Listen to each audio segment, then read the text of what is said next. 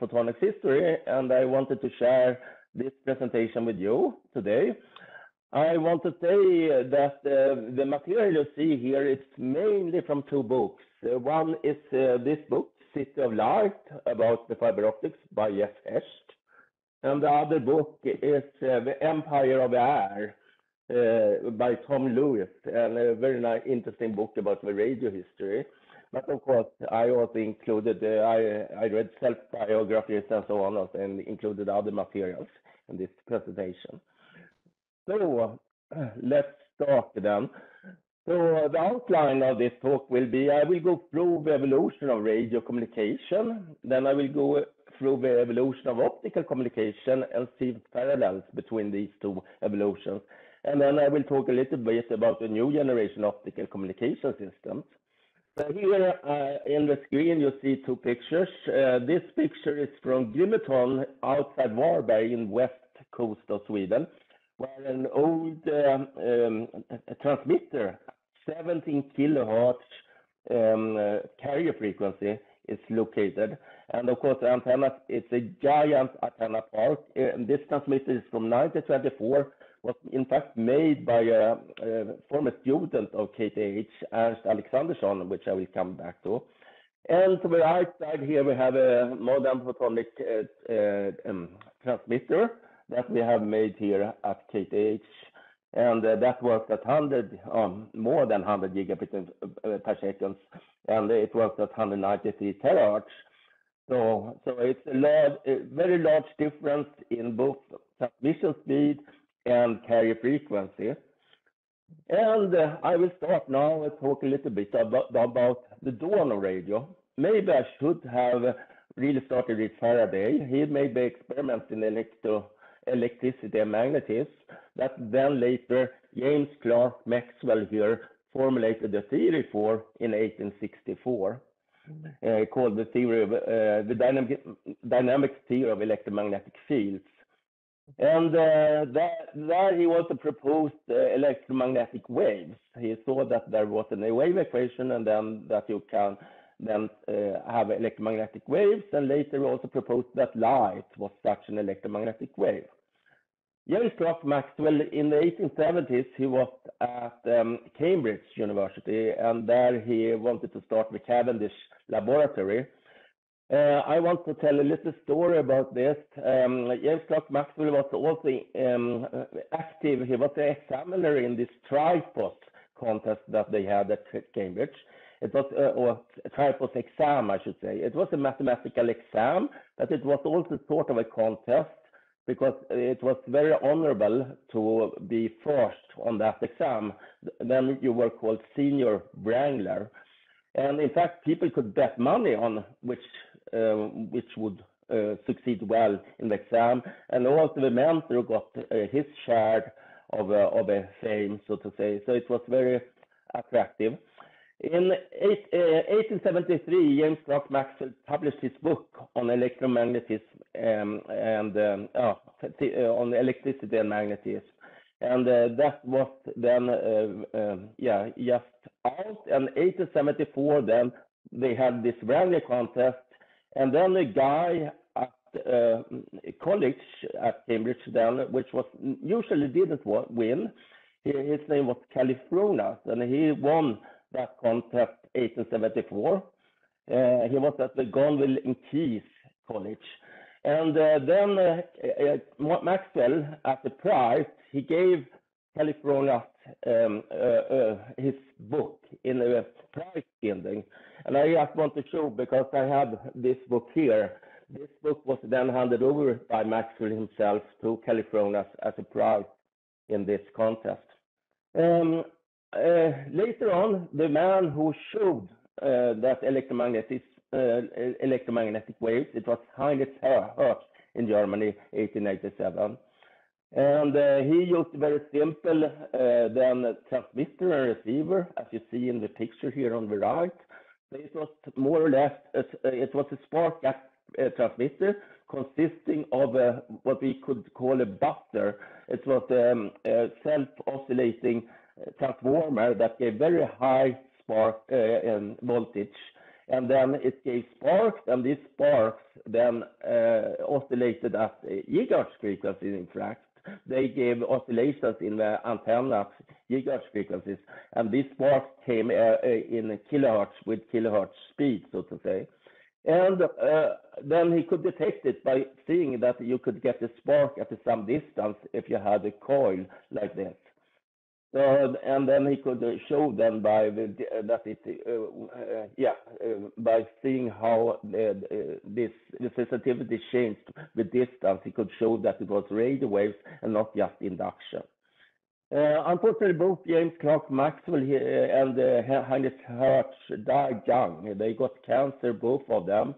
And uh, Maxwell died when he was 48 years old only, and Heinrich Hertz was just 36 years old. And that both had made very large contribution, not only to electricity and magnetism, but also other fields. So they were great researchers, but they lived too short, unfortunately. Uh, I will give now, uh, see now how radio evolution and photonic evolution change uh, progress here. So I will start then 1887 with Hertz experiment. It was a spark gap transmitter and used on off thing. Either you had a spark or you had no spark. The man who commercialized this and also uh, developed it so it became useful for tele uh, wireless telegraphy, it was uh, Guglielmo Marconi. And he, he uh, patented it, uh, telegraphy without wire 1896. 1895 it transmitted one kilometer, 97 50 kilometer, and 1901 it transmitted over the Atlantic. And he received the Nobel Prize for this 1909.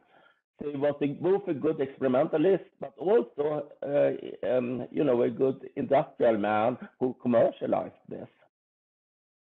Uh, Marconi's equipment, you can see here, it was a similar spark gap transmitter as the Hertz had used.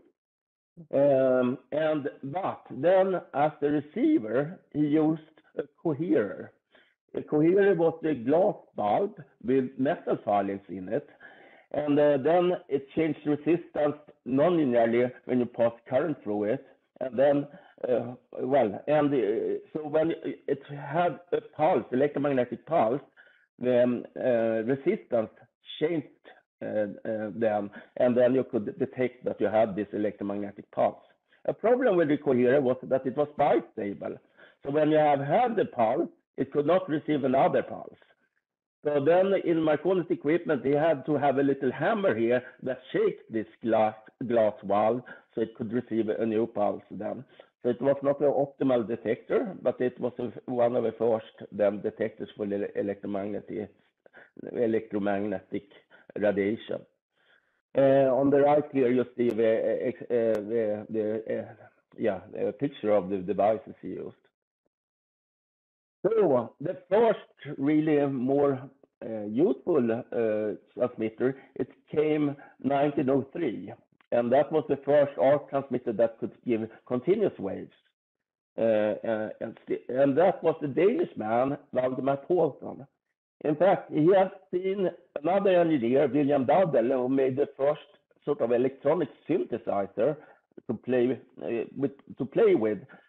William Duddell had discovered that uh, you could this pulsated flame, which you could get between two carbon electrodes, you could, could tune the frequency and make it audible. So it was possible to sort of, before you even had speakers, loudspeakers, you could produce sound, electronic sound with this. And then he could uh, tune different resonance circuits, so he got different sounds, and then he could make a small piano, which is performed with as the first synthesizer. And Valdemar Poulsen then understood this, that this could be used to also uh, get electromagnetic waves at higher frequencies. Uh, this uh, arc generator works best at the audible frequencies around 10 kilohertz, but uh, then Valdemar Poulsen used the frequency multiplier to reach about 100 kilohertz.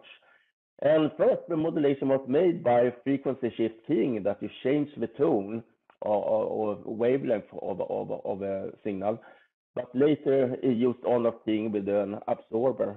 And Valdemar Poulsen, he also famous for inventing the magnetic recorder. Then 1906, the first radio broadcast of voice and music came, and that was a Canadian uh, man, Reginald Aubrey Fessenden. And uh, he invented a much improved detector, electrolytic detector.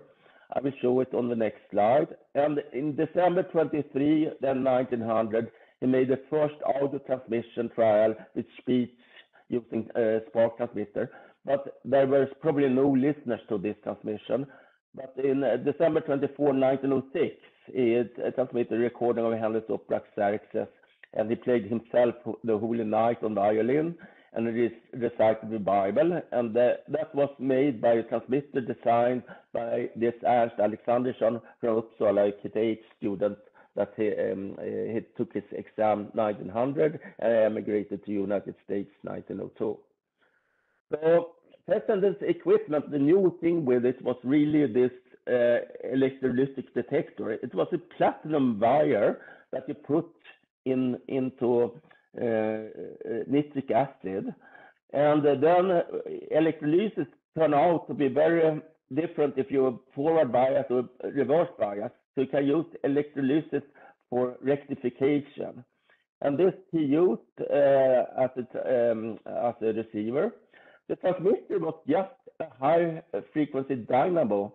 Uh, it's not an AC generator, the same kind of AC generator you use for 50 hertz. It was just uh, that it had 600 poles and, uh, and rotated with 22,000 rotations per minute. And with this, then you could go up in kilohertz frequencies uh, uh, uh, and then transmit radio signals with it, continuous radio signals. Still, it was not very clean signal you got from this um, AC generator, the rotary HF generator you see here, but it was still good enough to transmit speech and music. Um, then a little later, another kind of detector came. It was the cat's whisker detector, and it became very popular. Uh, and uh, that was uh, just the semiconductor. It could be lead sulfide, iron pyrite, silicon, or carborundum, which is silicon carbide.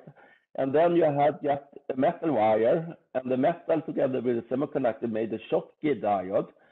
Uh, at this time, they didn't understand how it worked. They just noted that it was a very good rectifier and could then rectify and detect AM signals in radio.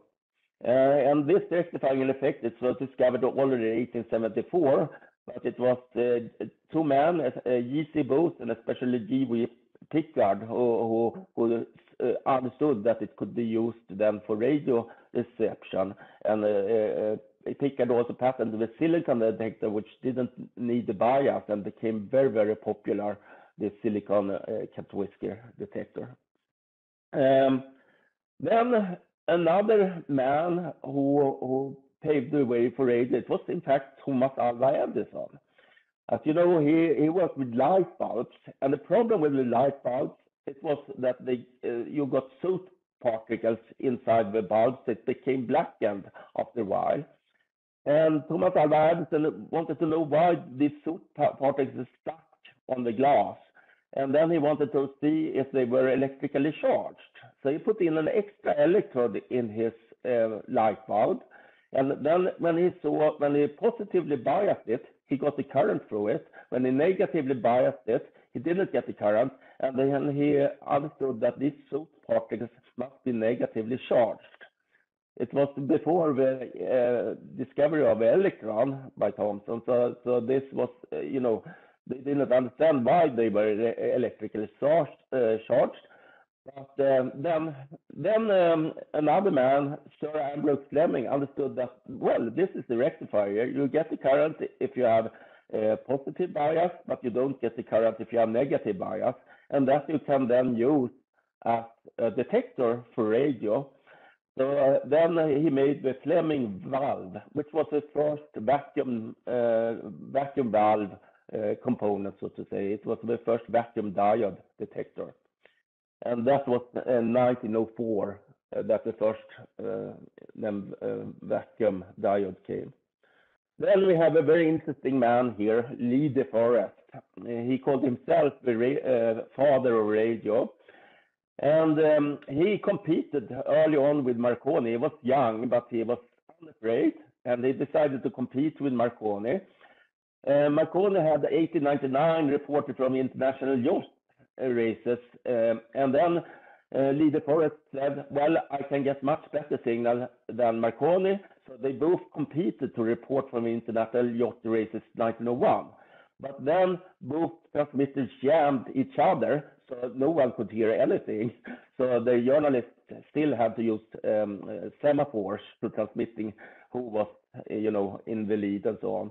So it was um, a failure. They had at that time not understood um, how to send different uh, radio signals at different frequencies. So uh, yeah, there was just sort of one.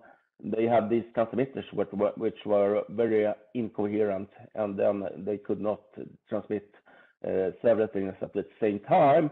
Marconi had seen that by changing the length of antenna, he could sort of tend, sim, uh, decrease this interference between the transmitters. But yeah, that was a problem long uh, during a long time. Um, uh, Lee de Forest's biggest invention, it was really that he put a separately biased grid to Fleming's uh, then uh, vacuum diode, and then he made the first triode. He didn't really understand that it was an amplifier, but it, made much better reception. So, he patented this um, uh, and called it the Audion and it made a big improvement then. But uh, as I said, he didn't really understand how it worked. Um, otherwise, Lee Forest was always in patent fights. For instance, he, developed the spade detector, which he had been influenced very much by Fessenden, his electrolytic detector. It was more practical electrolytic detector, but uh, Fessenden then sued Lee Forest for that. Another thing he was uh, he did he was proposed to his first wife with wireless telegraphy in 1906. He put a, a receiver station in her room, and then he, he proposed via this. Unfortunately, that marriage ne never was consummated, so to say. Uh, she divorced him uh, after six months, and uh, then he said she was just out for his money and his patents. And well, I don't know. He didn't mention her even in her, his self-biography. Uh, anyway, uh, Lee Forest is introduced the world radio and also proposed and started public broadcasting. Marconi he had looked at point-to-point -point communication, whereas Lee Forest understood that radio broadcasting could be a big business, and he started a radio broadcasting company also. Uh, so then 1914, we come to a first coherent radio transmitter, and we also come to a, the biggest man in radio. It is Edwin Howard Armstrong. He uh, had studied, he was an excellent experimentalist, but also an excellent theoretician. And he studied then this Audion by Lee de Forest and understood it was really an amplifier. And then he could uh, he developed it further and he invented the re regenerative receiver. Uh, the problem at that time was then that the selectivity of an LC circuit is not very good, and if you want to listen to different stations, you get bad selectivity because of this. Edwin Armstrong knew that you could compensate the losses in the LC circuit by by uh, this uh, Audion then, uh, by using it as an amplifier, as, a sort of a negative resistance. Um, however, then you had the problem that the LC circuit instead started to self-oscillate. So you needed to be very close to self-oscillation, but without getting self-oscillation, and it was very difficult to control that. So then we come up with this regenerative receiver that goes into self-oscillation with a very, uh, every six 60 times per second, for instance, it went into self-oscillation, then it quenched the self-oscillation, then it started self-oscillated again. And if you do it with 60 hertz or uh, something like that, in fact, it's possible to do it without making it uh, uh disturbing the audio frequencies, which are higher. So, so in this way, he could get both good selectivity good, and good audio amplification and good RF amplification with one single uh, triode, one single Audion. And that was a very big improvement of uh, selectivity and sensitivity of a receiver. Unfortunately, this receiver disturbed other receivers since it periodically went into self-oscillation. So today it's not used, but uh, yeah, it was a very interesting idea to build a radio, a, very sensitive and selective radio uh, with just one um, uh, uh valve in it. Um, when Lee De Forest, who had invented the Audion understood that it really was an amplifier, and uh, uh, Edwin Howard Armstrong then also shown that you could use it as an uh, oscillator in your transmitter. Then Lee De Forest said, yeah, he had already sold the patent uh, to AT&T at that time. But then he sued Edwin Howard Armstrong and said, well, this idea I had, I, of course, I understood it was um, possible to use it as a transmitter and to use it as an amplifier. Uh, I just didn't, you know, um, have time to develop it. So he had a patent fight about this, uh, about the invention of uh, this uh, regenerative receiver and also the coherent transmitter with Lee De Forest, and it lasted all uh, the life of Edwin Howard Armstrong. This lawsuit, in fact patent suit. In 1915, we got the first new modulation format. It was single sideband modulation. It was a guy called John Renshaw Carson who understood that you don't need both the uh, carrier, the upper sideband, and the lower sideband. It's just the lower sideband that contains information, and they contain the same information. So you should not waste your transmitter power to send the carrier and the lower sideband. It's enough if you send just the upper sideband and then have a local oscillator in your receiver that you put in at the correct frequency to get them uh, detect the signal. And this made, of course, the, the, the transmitter much more power efficient and also it reduced the bandwidth you needed for an AM signal.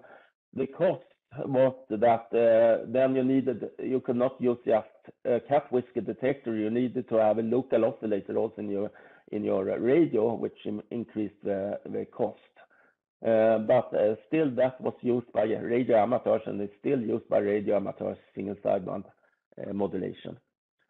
1918, uh, we we come to the set super heterodyne receiver, and uh, the super heterodyne receiver, it was invented by uh, Edwin Howard Armstrong, the same man who invented the regenerative receiver and uh, sort of a uh, triode transmitter.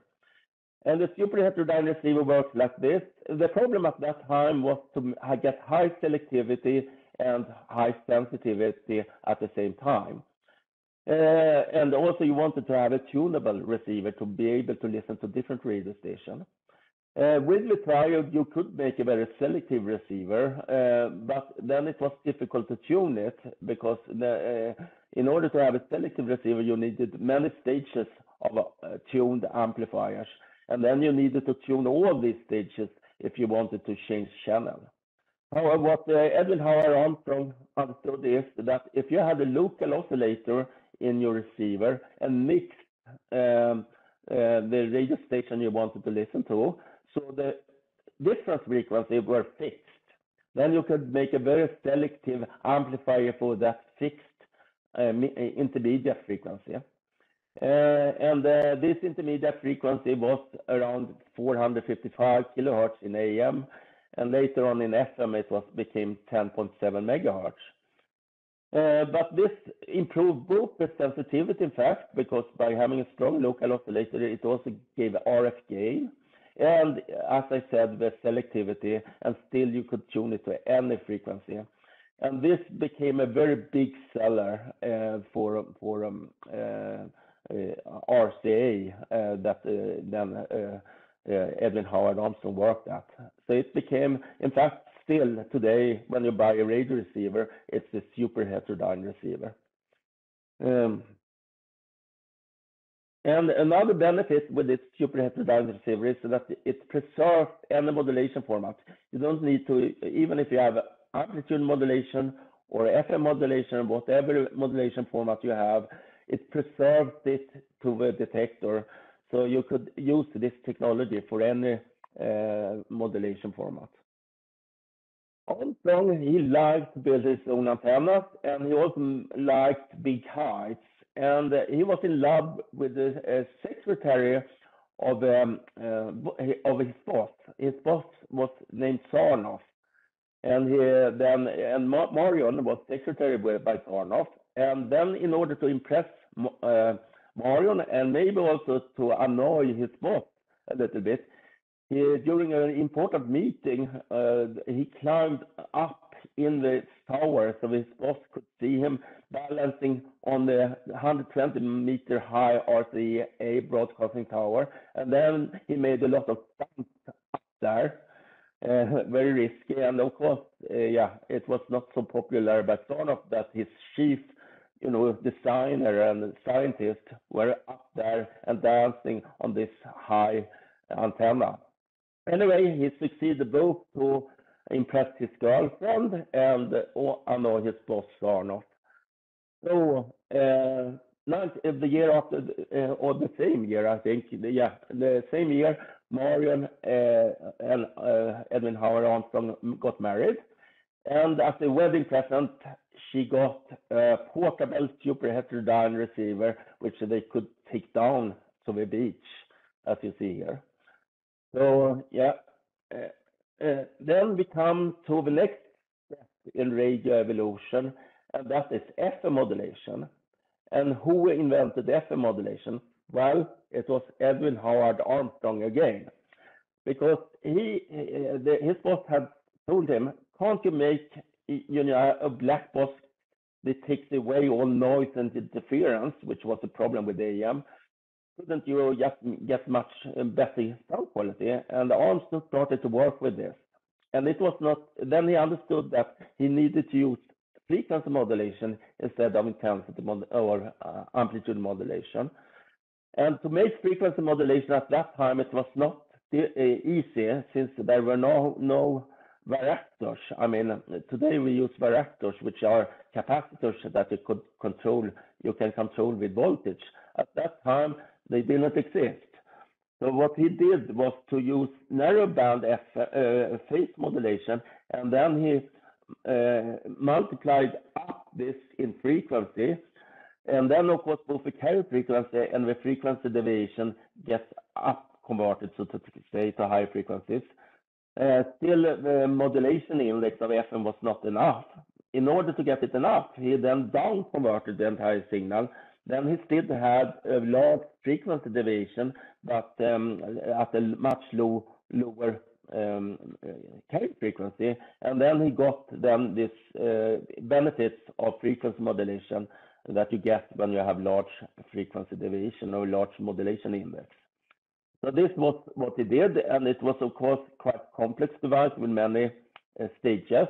And you see the transmitter here on the right side here, how it looked like. Uh, anyway, he demonstrated this for Sarnoff, but then uh, at that time, Sarnoff was not so interested in FM anymore. He was more interested in TV. So he uh, said to, uh, and he also took care because there were so many AM receivers in the country at that point. So he said, FM will never, people will not buy a new receiver to listen to get a little, little better sound quality. So he wanted to stop Armstrong working on this project. And Armstrong, he was convinced that this would be big FM. So he decided then to resign from uh, RCA and start his own company.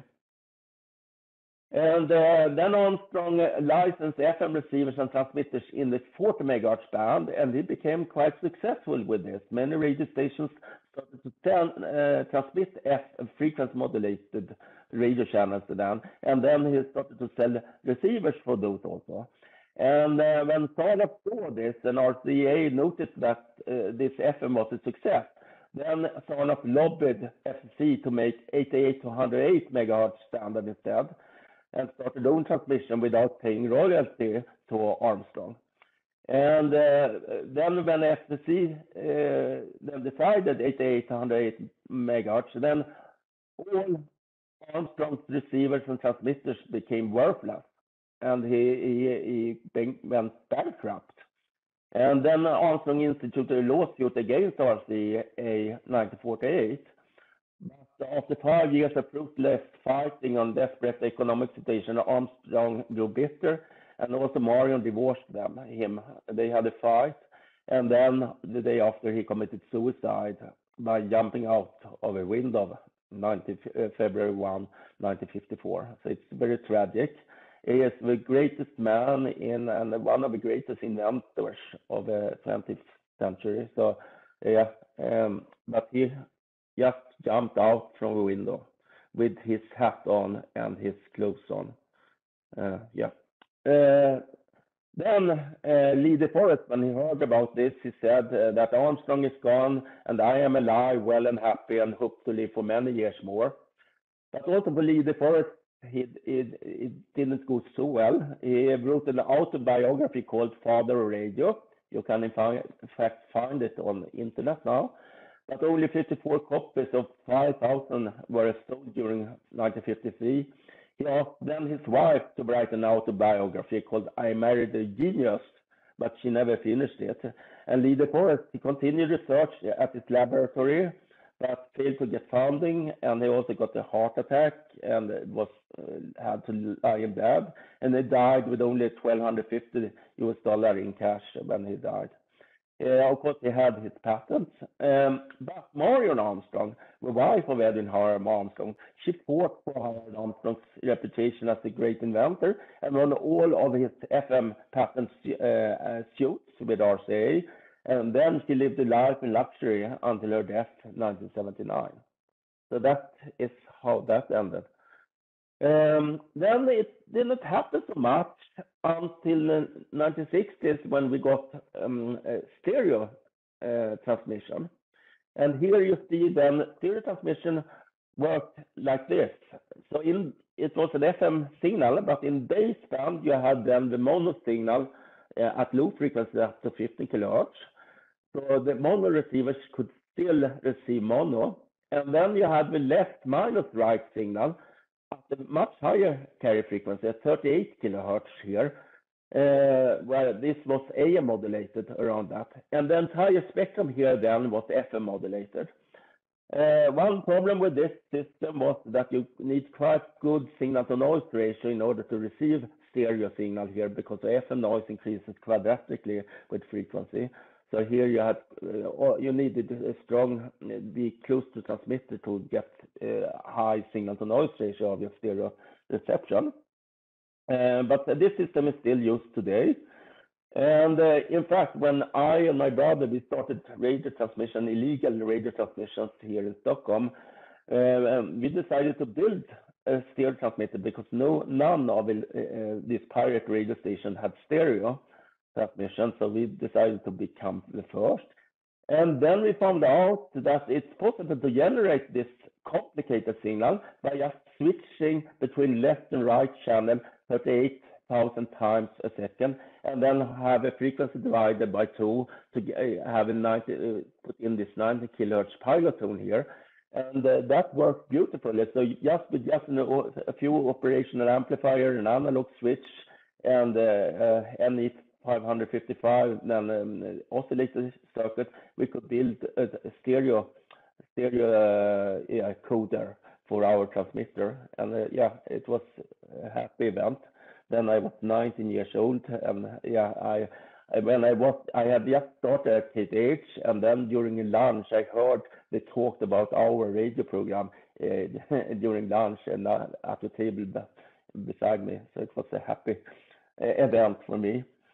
Um, but yeah, uh, so this was what happened then in the 1960s. And then, yeah, we will come back to radio history. Uh, but now we will go over to uh, the first, uh, yeah, to photonic history. So the first wireless transmission was not with radio. But before starting that, I suggest we take now a 15 minutes break. You are allowed to ask questions now, um, and you are also allowed to ask questions after um, next sort of uh, 45 minutes. Let's take 50 minutes break, but during this break, you can ask questions if you have any.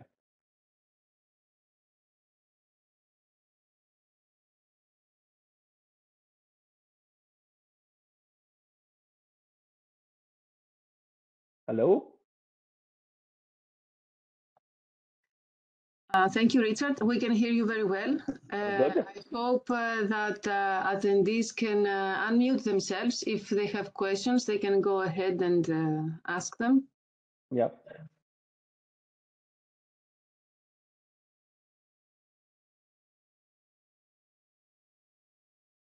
Maybe everything was clear.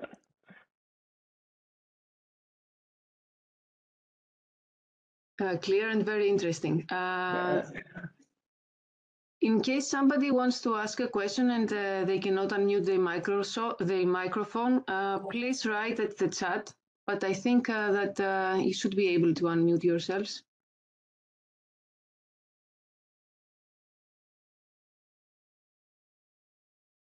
Okay, so otherwise, let's meet uh, then uh, at uh, 11 o'clock Central European Time for the continuation. I will take a little break myself also. Perfect. thank you. Yes, thank you. Uh, The photonics history. So uh, then uh, we have gone through the radio uh, ev- evolution, and now, uh, as I said, the first wireless transmission was not with radio, in fact. It was the photophone. So it was uh, by Alexander Graham Bell uh, and uh, Sumner Tainter, uh, 1880, his assistant Sumner Tainter, 1880. So they uh, used uh, then sunlight that they reflected on the membrane, on microphone membrane, and then uh, they transmitted by a lens to a parabolic receiver here with selenium cell in.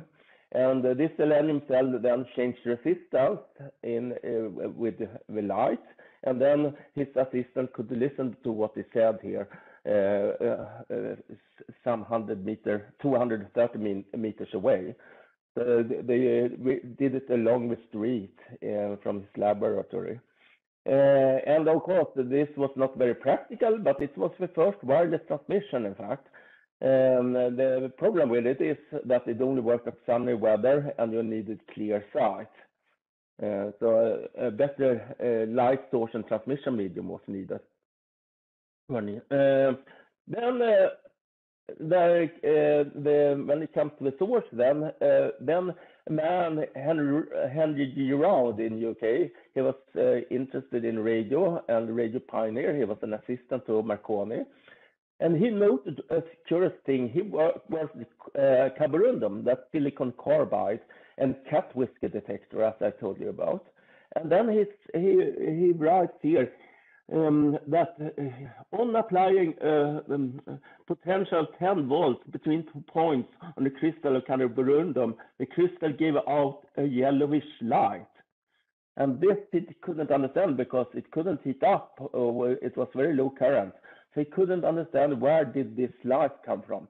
And what he had seen was the first electroluminescence. It was the first LED, you can say but uh, they didn't understand it at that time. They didn't understand semiconductors and so on.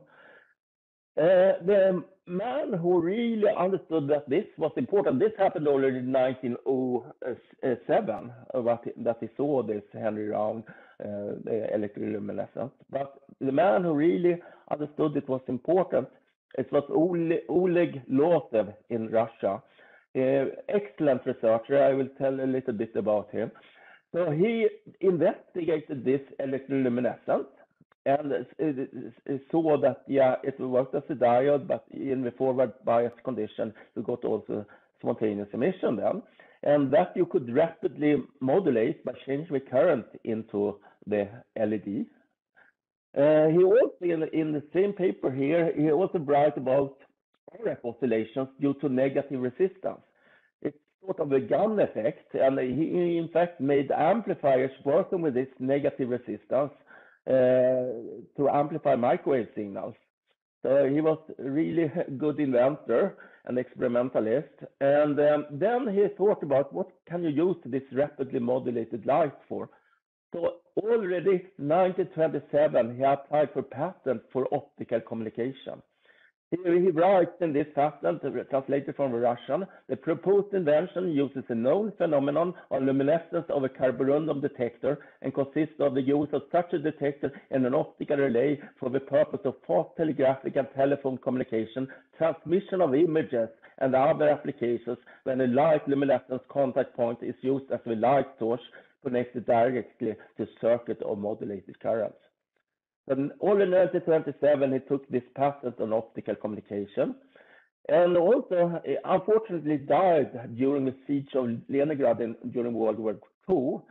But in his autobiography in, in November 1941, he said, eh, he wrote that using semiconductors, a three-terminal system may be constructed analogous to a vacuum triode. So he seems to have invented also the transistor um, before uh, Bell Labs did it. Uh, and uh, so it's really, he's sort of a forgotten researcher because uh, he lived in Russia and he died young, but still, uh, yeah, it, it's very interesting that, uh, yeah, he did this invention almost by his own and also foresee the application of it already in the 1920s. Um, the first laser, it was um, it was proposed by Charles Townes and Arthur Schawlow. They got also um, uh, a Nobel Prize later.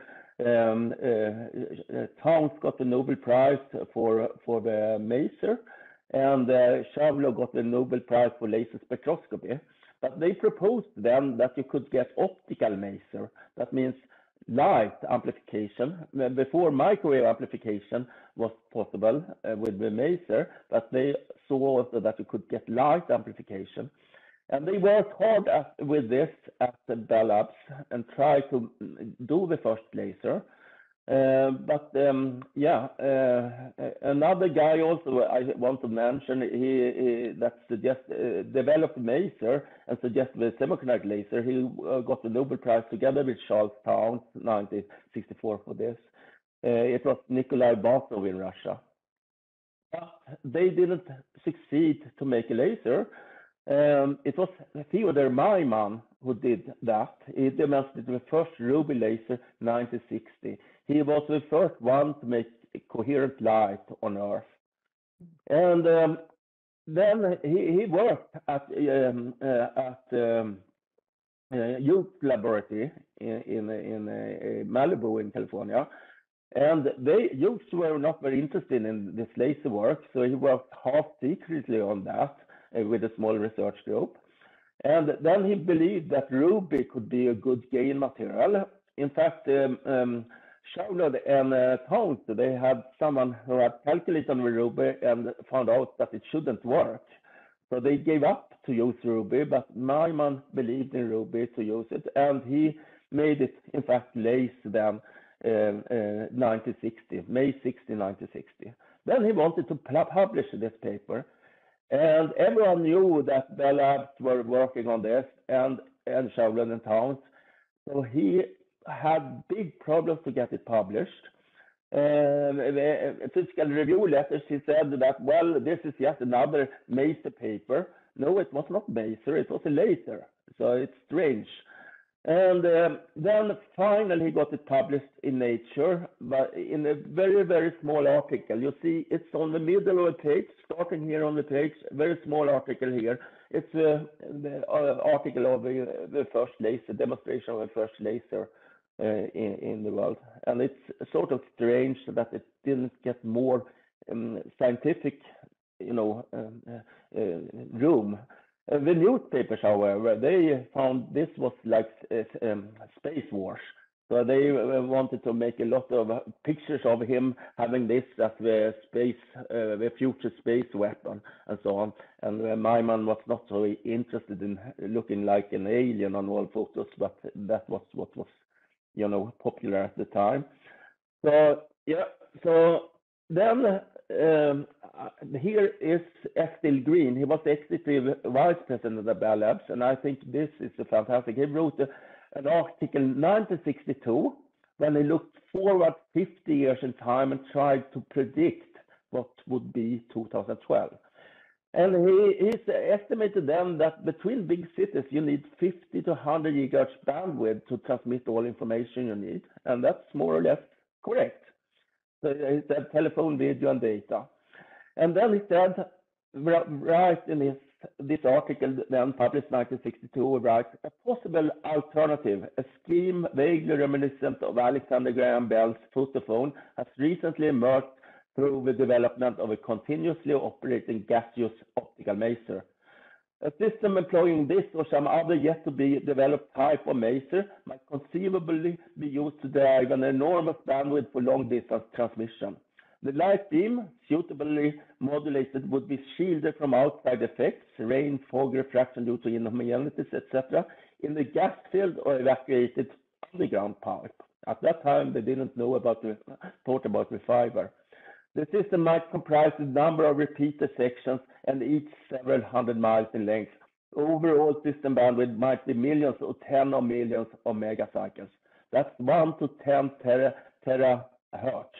And that's approximately what, what was we were able to do then 2012 uh, in uh, by using WDM systems and optical fiber. So I think this is very interesting that already in 1962 we predicted this and saw that optical communication would make uh, yeah would solve the future bandwidth demand. Um, then the discovery of a high efficiency LED because the LED that Lotte worked with was not very efficient, but uh, that was made by a coincidence. Uh, uh, it was uh, this was made um, 1962. Uh, then uh, people have seen that gallium arsenide could give a good electron electroluminescence. Rubin Braunstein had seen that and so on, but no one really worked with it. Um, Instead, people worked with silicon a lot because the first silicon transistors had been, been developed, and everyone went out to silicon instead of 3-5 materials like gallium arsenide, direct bandgap materials like gallium arsenide. But uh, gallium arsenide has one advantage which silicon doesn't have, it has higher mobility.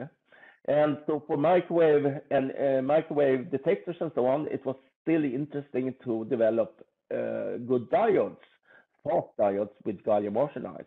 And that's what, what Robert Rediker at MIT tried to do, MIT Lincoln Lab tried to do. And uh, then they made two different kind of uh, diodes.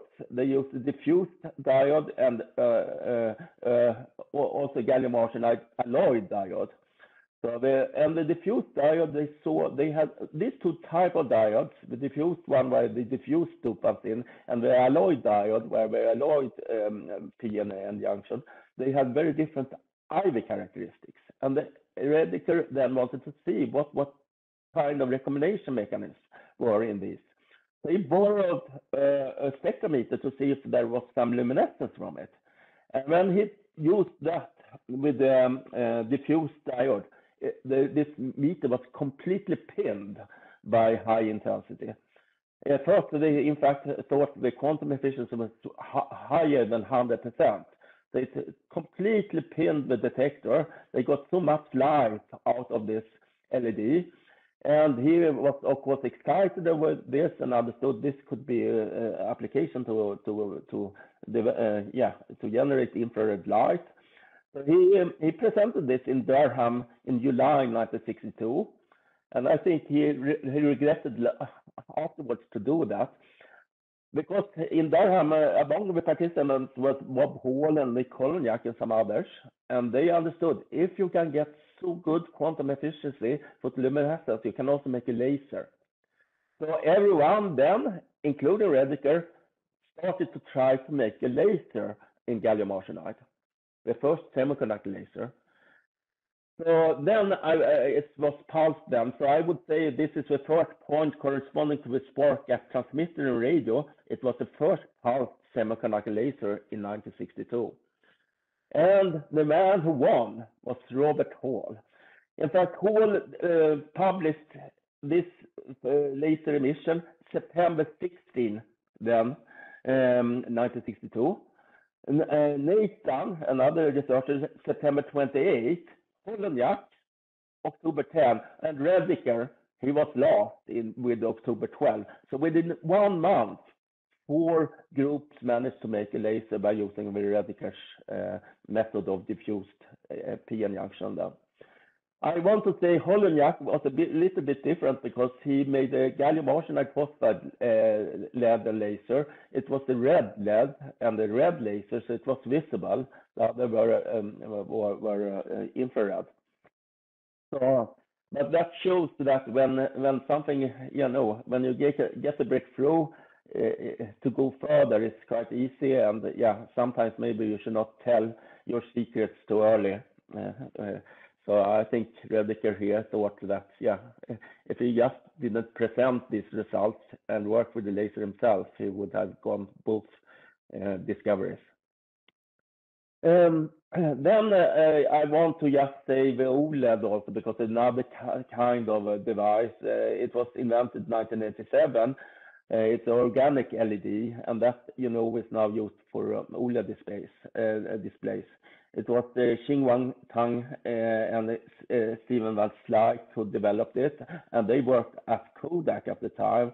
And then Kodak had problems because of digital imaging, and so they they were producing film and so on. So uh, then they had to sell these patents to to LG, and LG then make screens of these OLED uh, yeah, uh, OLED screens, and also now, you know, you have OLED displays in your telephones and so on. Uh, the discovery of the blue and white LED, it came later. When I was, you know, a kid, then there were red, yellow, green, orange LEDs. But if you wanted the blue LED, yeah, it was very expensive and very dim. It was made by zinc selenide. And so and uh, but and people tried to improve this zinc selenide diode, um, it, but there were some researchers wanting to try gallium nitride instead. And uh, you know, gallium nitride, everyone said no, it it will be too much dislocation. It's too difficult to grow. You have, don't have a good substrate, so there is no chance that you will get uh, good efficient LEDs from that. Uh, it was 16% lattice mismatch on Sapphire, for instance. So, uh, no one believed in it almost. Um, and uh, but one, these three guys is Isamu Akasaki, Hiroshi Amano, and later Nak Shuji Nakamura. They they thought it's still worth investigating gallium nitride. Everyone working on zinc selenide, so why not work on gallium nitride? And Nakamura, he wanted the fast PhD, so I thought, well, let's take a, a, a area which uh, it's easy to publish papers in. So Nakamura um, uh, selected the gallium nitride since uh, he, he got had a better chance to publish it. And uh, for instance, at the conference 1992, 500 researchers attended the zinc selenide gallium arsenide session. Less than 10 researchers uh, among these, these three guys attended the gallium nitride sapphire session. So there, it was not many who believed in it. But for once, nature was kind, and Nakamura, he was an excellent PhD student. He he he could um, uh, then get uh, he, uh to use his company's MOVP to optimize that. They let the PhD student optimize, yeah, MOVP or MOCVD reactor. Uh, and then he, he, he managed to get a blue LED in 1994. And in 1995, at Material Research Society meeting in Boston, he, he demonstrated the first blue laser pointer. So he demonstrated paper that he has obtained laser and uh, a blue laser, and he used the blue laser pointer to do the presentation. So that was quite cool, I think. Um, all these three got the Nobel Prize 2014, and of course, it has been a very large um, uh, uh, benefit for society. Now we have, you know, the blue and ultraviolet LEDs. They can then, together with phosphorus, make excellent white sources, very efficient light sources. And we are now close to what is theoretically possible possible to get a white light source with high efficiency. So it has been a long, uh, large improvement here in luminescence efficiency lumen per watt. Lumen is what you see and what is the power you need to electrical power to, create it. and you see that it has increased with several orders of magnitude, in fact, four orders of magnitude since the first LEDs then of Holonyak. Then we come to the first TV continuous wave semiconductor laser. I uh, I compare it with Poulsen. It's not single mode yet. I compare it with Poulsen's ARC transmitter. You remember this Danish guy's uh, ARC transmitter that gave also continuous radio waves by using an RF uh, generator. So the first CV semiconductor laser, it was made thanks to Zhores Alferov. Zhores Alferov paved the way and also demonstrated it Um, uh, by uh, using a double heterostructure device, and he was at Ioffe Institute in Russia then. Um, also, Hayashi and Panish at Bell Labs worked on this, and they achieved room temperature operation in double heterostructure in June 1970. So it's just one month between them. If we look at Alferov's device, what he said he was to have a Uh, material with lower bandgap sandwiched between two materials with higher bandgap. In that way, you you got both good electron confinement because the electrons and holes, they want to accumulate here in the low bandgap active material. And also the low uh, bandgap material, it has higher refractive index. So it works also as a waveguide for the photons. And when you have a lot of photons, holes, and electrons together, you can get high optical gain then. Um, so, and uh, at that time, uh, in Alferov's laser, he got one kiloamp per square centimeter. It was a broad area laser at room temperature. Uh, today, we can get approximately five times better than that, but it was a very big step and much better than anything else before, and that made it possible first time to get room temperature lasering in a semiconductor laser. And of course, the semiconductor laser was much more small and convenient than the gas lasers earlier, the Ruby laser, for instance. So, um, then you needed a good medium, and that uh, to get broadcasting or transmission. So I compare that with the first radio broadcast, where you have both a detector and transmitter. I compare it, uh, I compare that with the first low loss optical fiber, uh, because that was what enabling fiber optics. And, um, this idea that you could get light traveling along uh, a fiber, it was not new. Already, Colladon, a Swiss teacher, had shown his students already, uh, 1841, that you could get uh, light to follow uh, water, water, what to say? Yeah, to follow water like this. And, John Tyndall then, a British researcher, he investigated total internal reflection in 1870 and demonstrated it also. But to make a fiber, glass fiber with low loss, that was more difficult. Uh, in the beginning, in fact, there were some ideas to have tubes, evacuated tubes to transmit light. Uh, for instance, William Wheeler here, he thought that light bulbs will be so expensive, so it's better to have a very high power light bulb and then distribute the light via mirrors. Uh, if you have a building with many rooms to them, or eh, a residential building with many apartments, you could have one central light bulb and then distribute the light with mirrors and pipes like this. Um, but the one who really started with fiber, it was Heinrich Flamm, and he started to do it for for um, eh, yeah, to investigate for eh, gastroscopy and colposcopy and so on. So he investigate Um, uh, to transmit pictures from from the body. He was a um, uh, uh, doctor, medical doctor, and then he made fiber glass fiber bundles, and then managed to transmit the image of a lamp filament here in 1930. However, this fiber had very, very high loss, Uh, and the main reason was that it didn't have any cladding, so any dirt on these fibers, inhumanities, spread the light around. It was Abraham van Heel who developed fiber cladding for the fiber imaging bundles, and then he, he they got down the loss to 1,000 dB per kilometer. Of course, it's still much too high, but it was good then for fiber optical fiber Im imaging bundles. Then there are uh, Elias Snitzer. He was he, he made the theory of single mode fiber. He showed that if you make a fiber thin enough, only one bounce angle, so to say, one mode is allowed in fiber due to Maxwell's equations. And uh, he also made um, he showed the erbium glass laser, which then later became the erbium fiber amplifier. So he was a pioneer.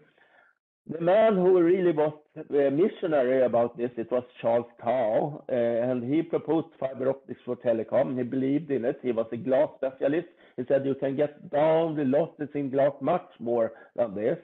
And he calculated on it and found that it should be go be possible to go below 1 dB per kilometer. And then he made a world tour to sell the idea to governments and so on. And for this, he won a Nobel Prize 2009. And uh, the man then he Charles Kao worked with uh, Corning Glassworks and Robert Maurer and his group there. They managed to get down the loss then. Uh, they demonstrated uh, 17 dB per kilometer 1970 and 4 dB per kilometer in uh, 1972. And today we are down to 0.2 dB per kilometer at 1.55 micrometer. It has been a very uh, uh, important development when it comes to optical fiber. Uh, the first coherent radio transmitter that Edwin Howard Armstrong did, you remember he used the triode and the Audion that Lee de Forest had developed to, make a really coherent and clean radio signal. That we compare with the first single mode DFB laser that came in 1975. And uh, the idea of a uh, DFB laser, it was made by Kogelnik and Shank and proposed in 1971. In fact, I know I personally know Rudy Kazarinov in Russia. He had also this idea and published it at the same time. But it was uh, well, he, he, sent in the manuscript in time, but it took longer time to publish it. But uh, both had the idea by having a Bragg grating inside the laser, you can make it single mode. And Kogelnik and Shank made uh, also very um, good theoretical explanation, and still they also included, in fact, um, complex coupling that you have could have gain coupling also. So this paper is really worth reading. reading. Um, the man uh, who first got uh, optical pump DFB laser to work, uh, it was 1973, and uh, uh, and also the first room temperature DFB laser 1975. That was uh, Nakamura, Michi Harum Nakamura at Hitachi in Japan. And the one who got the first electrically pumped uh, DFB laser in between these two dates, then um, it was uh, Donald Scifres at Xerox Research Center. So this then paved the way. Then you had both a good um, uh, good um, source, the semiconductor laser, and the fiber to to transmit information. So that really took off then in the end of the 1970s, the fiber optical revolution. Uh, and uh, then during 1980s, then when I started doing research, then we looked then at both FM modulation, in fact, using FM modulation instead of AM modulation, but also trying to make super heterodyne receiver optically, that is coherent optical receiver. So you, you do exactly like Edwin Howard Armstrong suggested, you mix with a local oscillator, and then uh, you you have a, uh, yeah you can detect then um, both the phase and the amplitude of a signal, and you can get much better sensitivity. At that time, it was in fact the sensitivity by having a strong local oscillator uh, laser inside your receiver, you could sort of amplify the signal, get a coherent gain, and that was very attractive. It improved the signal to noise ratio with more than 10 dB. Uh, that was something uh, many people uh, did research on in the 1980s, including us at KTH. Um, I know, for instance, Swedish Telecom, they had a coherent system at that time that they demonstrated. And we have even, even elaboration that I developed in the 1980s on coherent communication. However, then something happened. Uh, the problem with this was that it was quite messy to do. Uh, in order for getting a coherent receiver, you need to have the same polarization and the correct phase of your local oscillator to get it to work. And either you need to have diversity, so you have you, you have receivers for both polarizations and both uh, in quadrature and uh, quadrature phase, uh, uh, yeah. So and that that made quite complex systems, or you needed some sort of tracking of polarization in time. And all this made it very difficult to make in, uh, in practice. And also the systems were, difficult, uh, were made in free space, so it was uh, very sensitive to vibrations and alignment and so on. So um, yeah, uh, it never took off this coherent uh, receivers at that time. And then something that killed it completely came 1987 because then the first erbium fiber amplifier came and then you could use the just this uh, uh, optical amplifier to get high sensitivity of your uh, receiver and still use uh, just the detector diode. So then it killed the research on coherent optical receivers for a while. Uh, so this first oh, erbium doped fiber amplifiers, it was developed at the University of Southampton, but also Bell Labs were in uh, were doing research on it. And you see these two papers are also, it's just a few months between them, or one month or something like that. Both were published in 1987, uh, showing uh, where they had useful uh, erbium dope fiber amplifiers. Um, so after that, we, we until 2010, we still uh, continued to use fiber optic system for simple on-off keying and direct detection. You can compare it with Morse code and crystal receiver and radio. It was very sort of crude modulation format, but it was simple and it worked. And still today, for short distance communication, it's still just on-off keying. That is that you turn on and off the light, and you have a direct detection of intensity. It's still uh, used then for short distance. But for long distance, it was not possible to use the problem was that you needed higher bandwidth. It was possible. In fact, we demonstrated 2010 then on-off keying with at 100, over 100 gigabit per second. But uh, and we managed to transmit 42 kilometers uh, doing this. Um, but then we had dispersion compensated fiber that and the dispersion compensation needed to be very very accurate. So the problem to do go up just in speed it is something called dispersion. And dispersion means that when you modulate light, you broaden the spectrum, and then different wavelength components of a light will travel with different speed on the fiber because the fiber has different refractive index at different wavelengths.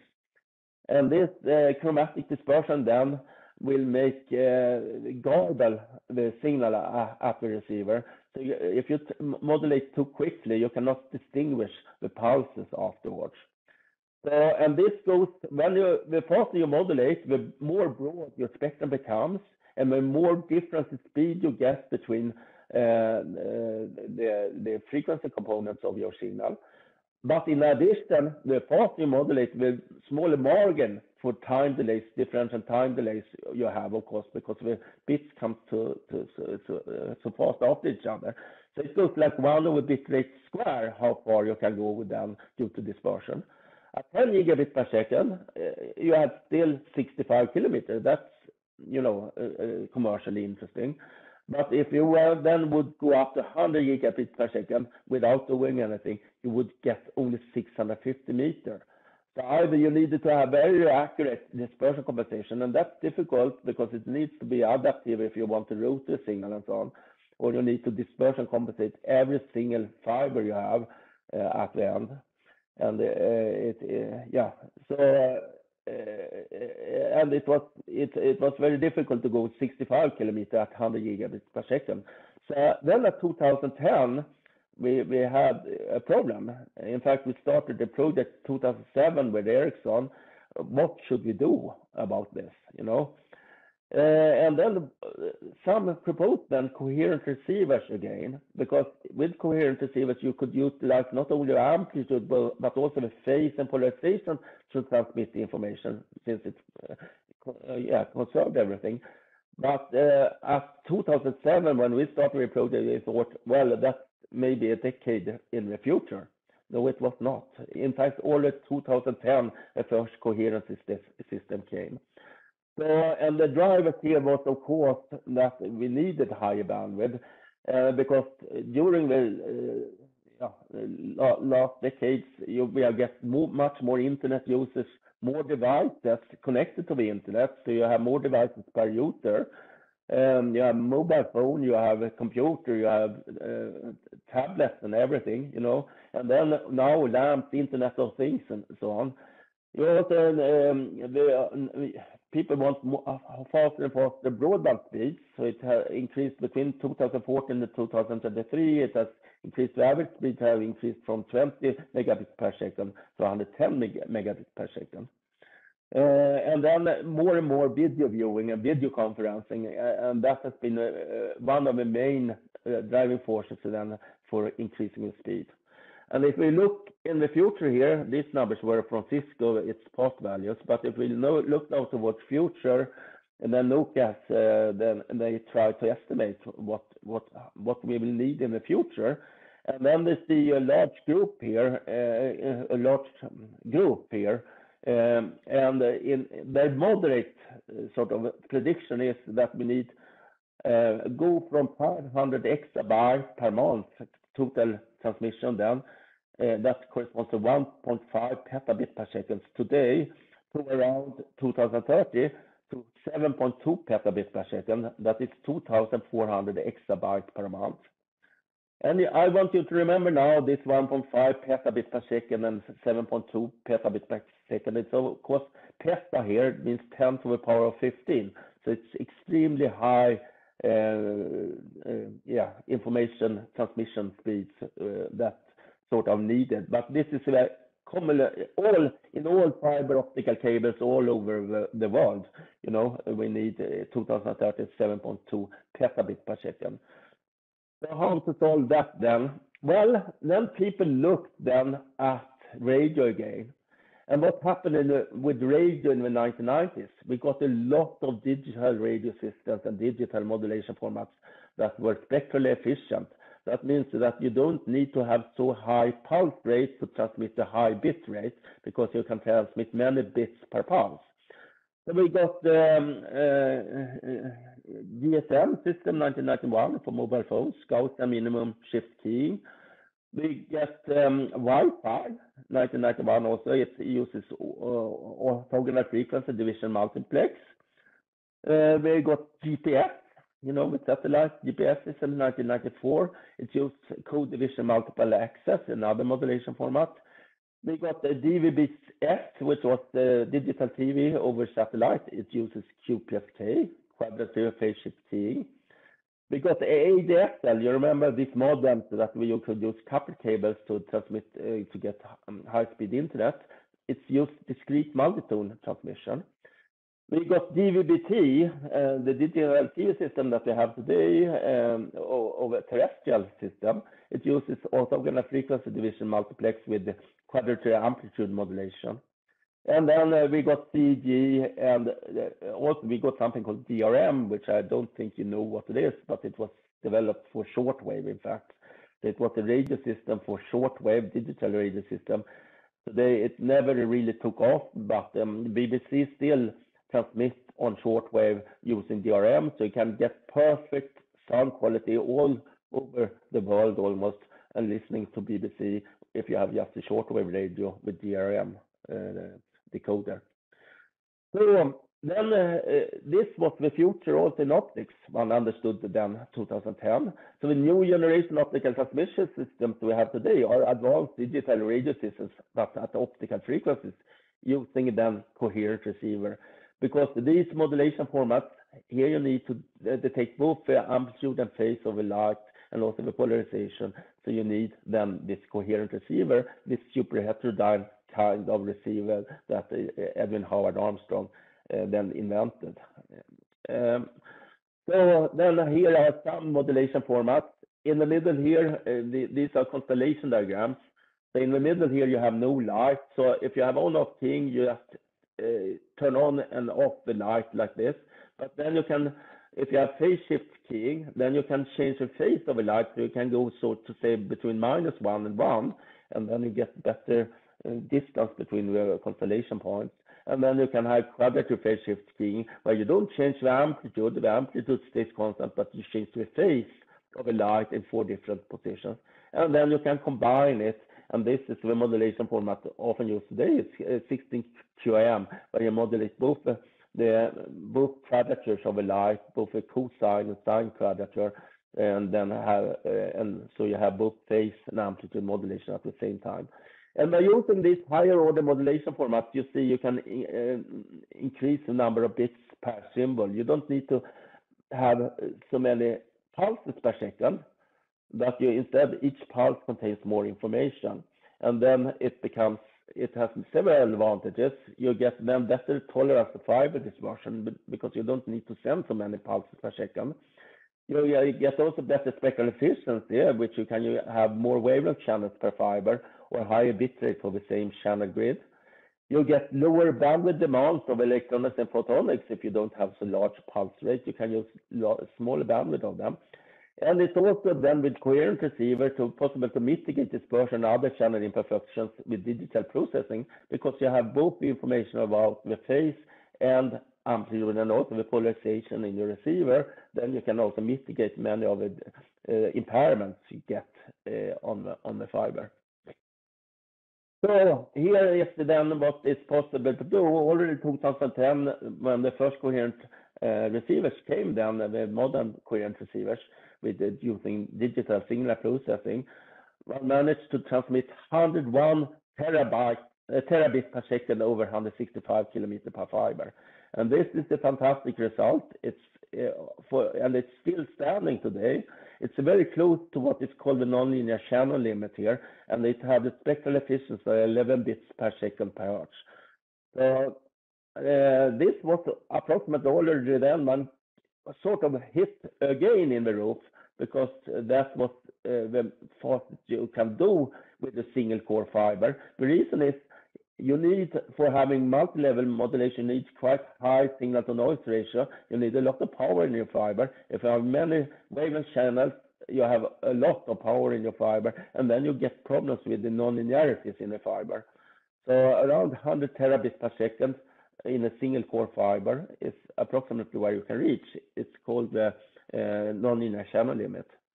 So the next evolution, the latest year had to be to use more than one core in the fiber and also to use not only one mode, one bounce angle in each core, but to use different, that the light can bounce in different angles, and that corresponds to them to different modes. And by combining both multi-core fibers and more modes per core, you can increase the bandwidth of your fiber uh, transmission uh, capacity even more. And that is what has happened uh, lately. And I also want to say this is just for one fiber. Then in a fiber optic cable, you can have, for instance, 145 four optical fibers in one cable that you put in the sea or in the ground. So, so, so then you will understand how much information you can transmit here. So during these last years, then it has been space division multiplexing that have increased the, rates here. And now I will just show you some for a single core fiber with only one core. This is the, current record. It's 1.53 petabit per second, uh, and it is made by using 55 mode fiber. So in the fiber, the light can bounce in 55 different angles, let's say, and uh, then you can transmit inform different information in each bounce angle in, in the fiber, each mode. And um, yeah, uh, and uh, this was made by NICT and uh, ICT in Japan together with Nokia Bell Labs. And then they used um, 16 quadrature amplitude modulation, 184 wavelength channels, both polarizations, and then 55 modes in the fiber, 55 sort of bounce angles, what you can say. And uh, they did this over 25.9 kilometer. This was demonstrated 2022. Uh, the record by including also, here is another record then by including many cores in fiber. So here we have 19 cores and six modes in each core. And then they had reached 10.16 petabit per second. This was made already 2017, published at ECOC. Um, and uh, lately, after that, uh, the same group that showed this very high single core uh, speed, they also showed that you can exceed, and this is the record what I know about multi-core fiber, but then they use 38 core fiber here and three modes in each core, and they reached 10.66 petabit per second. So what this means, you remember that 2030 we need around 7 petabit per second, but that was in all fiber optic cables in all the world. It's possible to transmit 10 petabit per second in a single fiber with many cores then. Um, so this shows just the potential of uh, fiber optical communication. And I normally say that, well, I don't think there is a better way to transmit information than fiber optical communication. I don't think we'll find a better way. I think if we find intelligent life on another planet, which is more intelligent than we are, they still use fibers, optical fibers, and lasers for optical communication.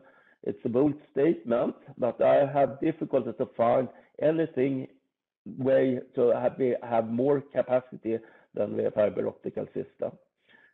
So yeah, so this comes and then it's my end of my talk here.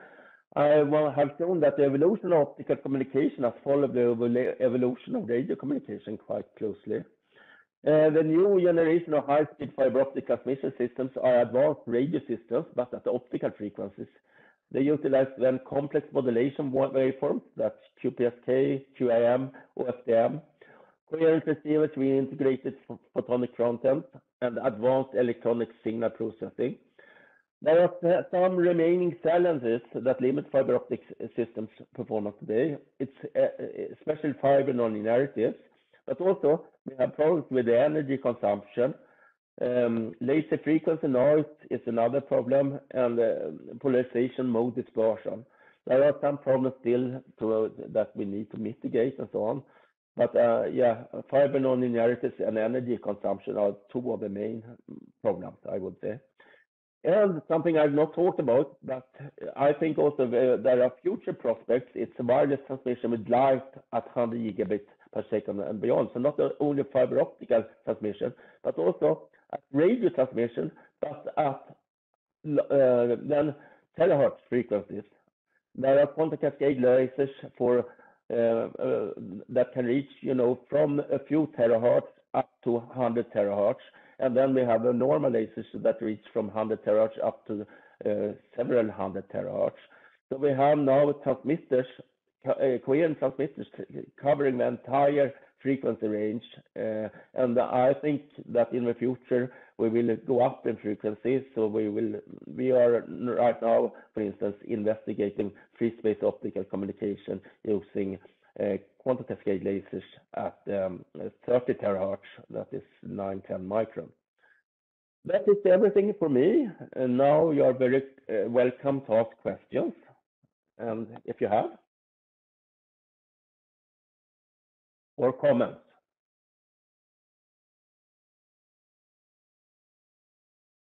Let's see if I can, yes. Uh, I don't know how uh, uh, Maria, could you help these uh, to let, yes. let them in? Um, well, if uh, thank you very much, Richard. Very uh, nice presentation and very interesting slides for all of us. Um, if somebody wants to make a question or uh, uh, give, uh, you know, some comments, please uh, raise uh, raise hand so that we can uh, unmute your microphone and you can be heard. I think some uh, people raised their hands. I saw it here, but I don't know what, what to do about it. So if you could let them in. Yes, let, let me check this because I, I think uh,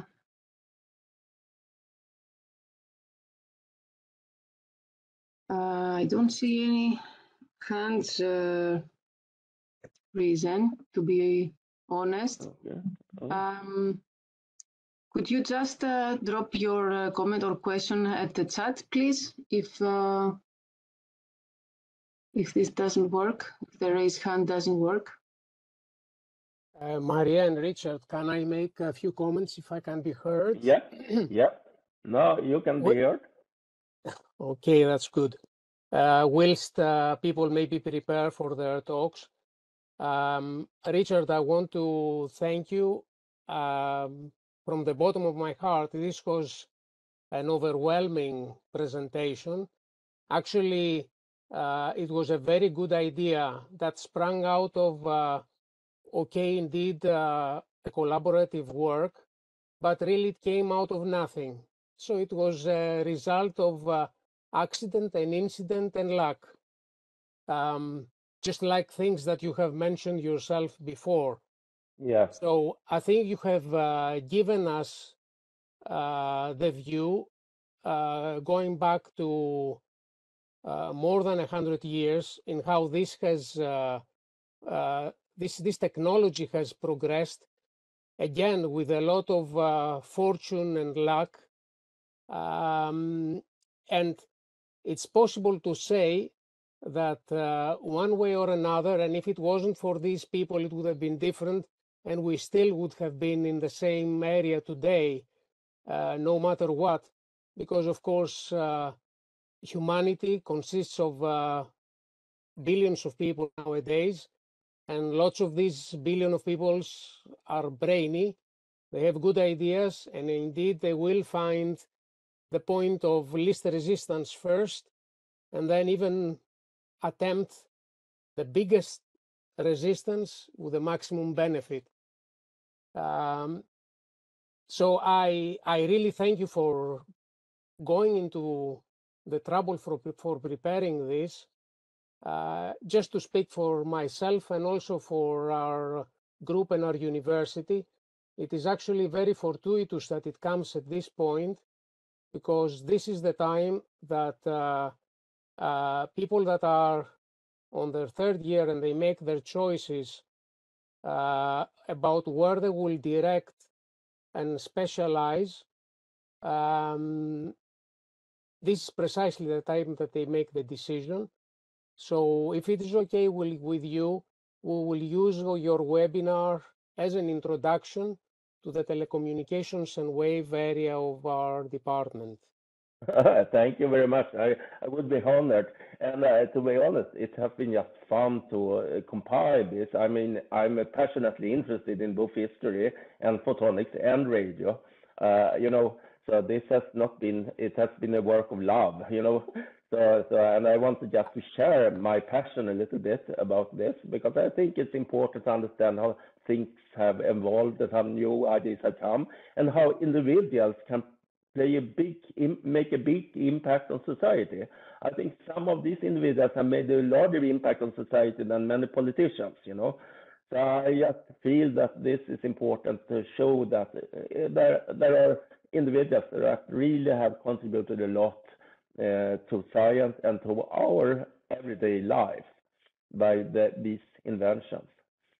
So, but thank you very much for for for in, uh, inviting me here to give this talk, and thank you everyone who listened.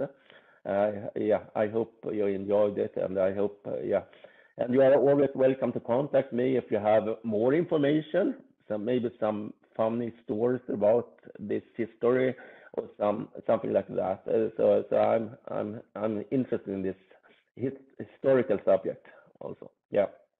Absolutely, and it is also um, fortunate uh, to bring all of this uh, back to mind, um, because indeed a lot of uh, of, of of these uh, articles or artifacts, or in fact equipment, is not always secure. Uh, um, uh, back in uh, uh, 20 years and 30 years ago, uh, you could still the, see the horn antenna that Arno Penzias and Bob Wilson uh, uh, discovered background uh, radiation from the Big Bang. And in fact, I was uh, reading recently that uh, um, because the area is now being has been sold on which the antenna is situated, and now some uh, uh, uh, investor is interested to either pick it off or use it as an exhibition. So indeed, it's it's very again very good that you put this together because it sheds life also into the personalities of the people. Some Mm. people that are indeed very strong-willed, if you like, single-handed, single-headed, to be able to make this, uh, uh, to realize these uh, these inventions. Richard, indeed, thank you very much. It was uh, overwhelming, indeed. And Oh, um, and and and uh, well, we're looking forward to your uh, next installment on uh, on Tuesday, Tuesday morning, same time, where you will talk to us about semiconductor lasers, uh, why they are important, how you design and build them, and then uh, your very nice uh, uh, tool for actually um, uh, designing them. Yeah, it's Wednesday. I think it's Wednesday, isn't it? Wednesday morning. Wednesday, Oh. indeed. Yes, Wednesday, not Tuesday. So, yes, So, Wednesday excuse me, morning. Wednesday. Yeah. Yes. So yes, I will be happy to talk about that also. Uh, it will be a more sort of advanced talk than this, uh, but I hope uh, people who have enjoyed this talk can maybe tune in then also.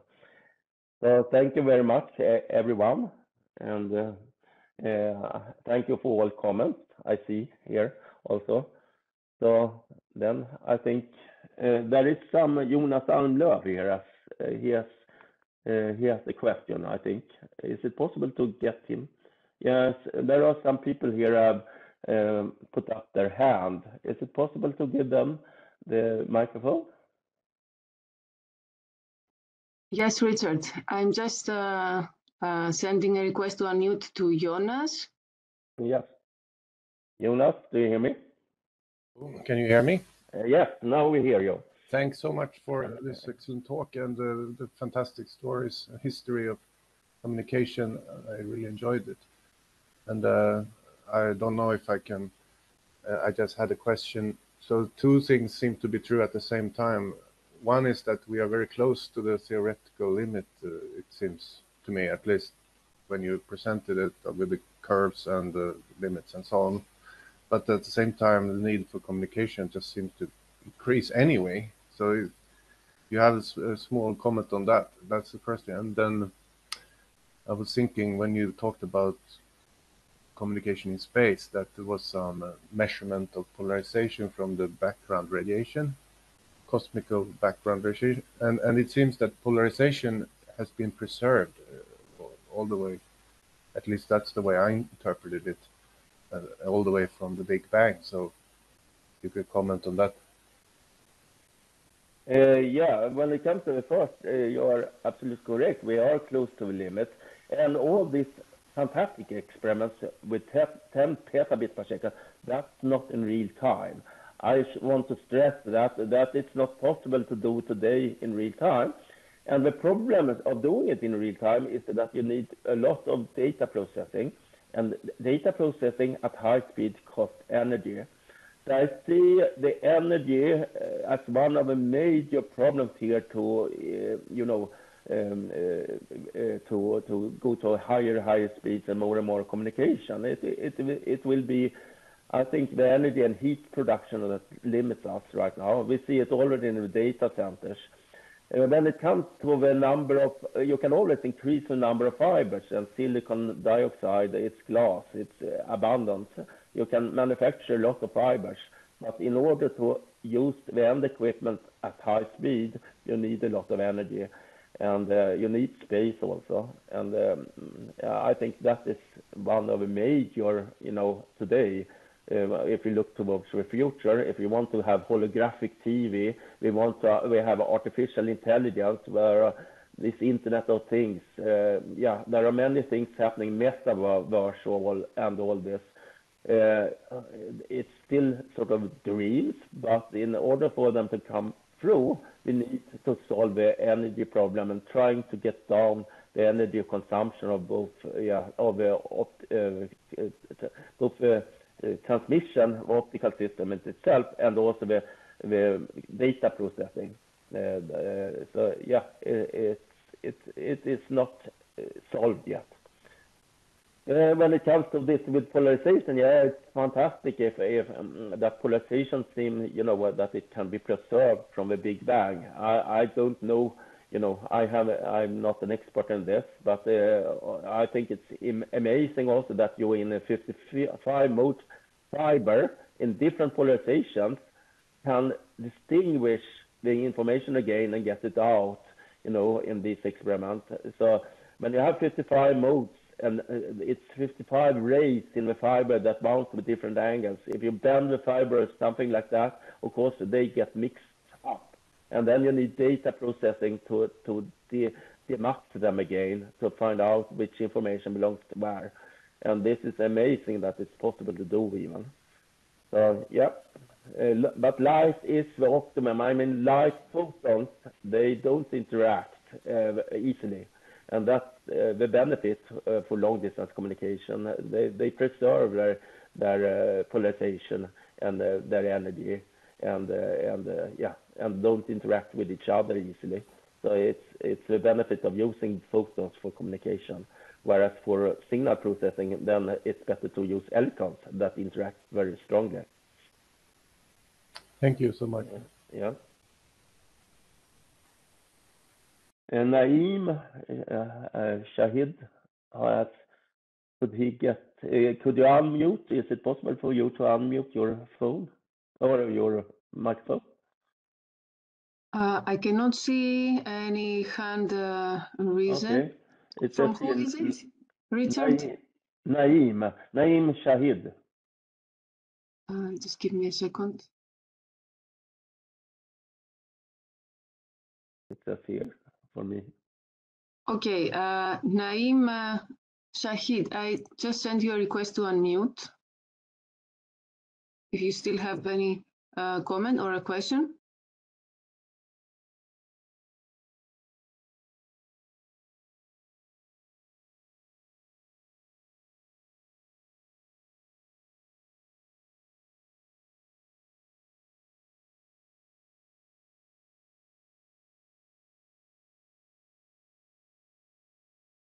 if it doesn't work uh, for you, uh, you can still uh, write your comment to the chat.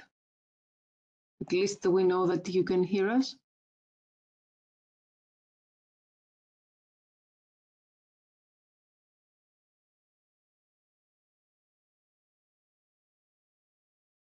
Johnny says also, uh, is it possible to unmute everyone? so that anyone can speak.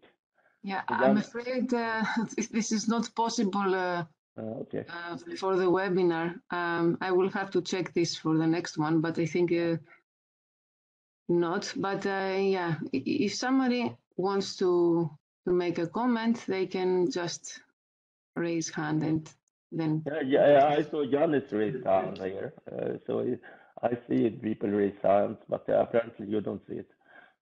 Richard, I was trying actually to, you know, yeah. see if I could unmute any of the attendees. Uh, okay. Okay. Yeah.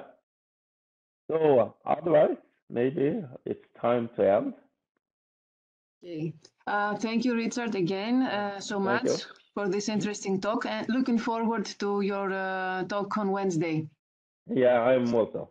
So thank you very much for listening and uh, uh, hope to see you or hear you on Wednesday. Uh, we have a question from uh, Yanis. Mm. Uh, one, uh, yeah, just give me a second. If we have just one, two minutes. Yes, of course. Uh, okay, it's Yanis Yanoulis from uh, our lab. So Yanis, I'm sending a request Please, to unmute. Thank you. Can you hear me now? Yes, I hear you. Okay, okay. Uh, thanks a lot, Richard, for this really nice presentation. A really impressive talk coming from the history. Uh, I had, I have just a general question, inspired by the way the flow of your presentation, from lower frequency to higher frequency for the classical communication, just like the light follows the evolution and the progress on the lower frequencies. from classical to quantum communication, which is your view about the landscape? At the moment, there is a lot of interest in the quantized light, quantized frequency, optical uh, frequencies. Which is the view for the lower frequencies? Is there is there any chance to have in the future quantized microwaves or gigahertz or shorter or uh, even lower frequencies? Uh, it's possible, uh, yes, uh, it's uh, possible, of course, uh, uh, but it becomes sort of the lower frequency you go to, the more you are limited by thermal noise, and then yes, the quantum, you know, the photons behave more like waves. So, so but I, there are, have been quantum communication experiments with masers and, and microwave signals also. Uh, now I'm a bit too applied. I, find this quantum uh, quantum communication, quantum cryptography, and so on a little bit uh, esoteric. I, know it's a lot of sort of interest in it, and I, think there can there are applications, but maybe it's too much interest and money in it right now. Uh, I'm a little bit too applied. I think that many things that you want to use, uh, especially when it comes to cryptography, you can do a lot with the classical systems also. Um, uh, you know, if you have a link and you, ha you, you have a high forward error correction, you can have a very distinct threshold. Either the system doesn't work at all, or if you increase the signal to noise ratio, it works perfectly. The threshold becomes very, very distinct. And then in such a system, it's difficult to and for any eavesdropper to drop any signal without the system, you know, destroying the, the communication any loss, extra loss, then would, would, would give a, loss of communication. So that's an alternative to quantum cryptography. And um, so I think there are uh, other methods, many, but of course, when it comes to quantum computing and so on, then it's it's interesting for special application, special problems. You can uh, hopefully, you know, it, it you get applications that utilize this. I don't think it will replace our computers today, but it's it's uh, for special purposes. It's it's an in, uh, interesting. Uh, yeah, that's what I have to say. I, think there is a lot of money going into everything called quantum right now. I think it's a little bit of a hype, but let's see what for the future what happens. Still, I think there is a lot of research needed just to solve the fundamental problems with energy consumption and so on, which we have and maybe that is more urgent than, uh, than looking at the perfect secure quantum cryptography system, for instance. Yep. Okay, thanks a lot. Thanks a lot, Richard. And thanks again for the presentation. Yeah, thank you. So then maybe we can end. And uh, so welcome on Wednesday if you have time to listen then.